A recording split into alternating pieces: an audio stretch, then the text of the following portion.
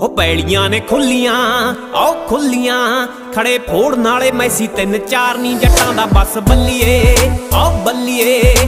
Farming ਪੱਕਾ ਕਾਰੋਬਾਰ ਨਹੀਂ ਜੱਟਾਂ ਦਾ ਬਸ ਬੱਲੀਏ, ਆਓ ਬੱਲੀਏ। ਫਾਰਮਿੰਗ ਪੱਕਾ ਕਾਰੋਬਾਰ ਨਹੀਂ ਜੱਟਾਂ ਦਾ ਬਸ ਬੱਲੀਏ, ਆਓ ਬੱਲੀਏ।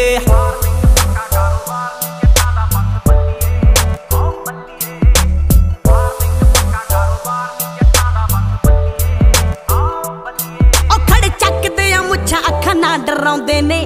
ਦਿਨੇ ਧੁੱਪ ਚਾਹ ਸ਼ਾਮੀ ਪੈਗ ਲਾਉਂਦੇ ਉਹ ਸਾਡੀ ਨੇ। ਮਾਡਰਨ ਫਾਰਮਿੰਗ ਫਿੱਟ ਬੱਲੀਏ ਜੋ ਖਾਵੇਂ ਸਭ ਵਿੱਚ ਖੀਰੇ ਸਾਡੇ ਖੇਤੋਂ ਆਉਂਦੇ ਨੇ।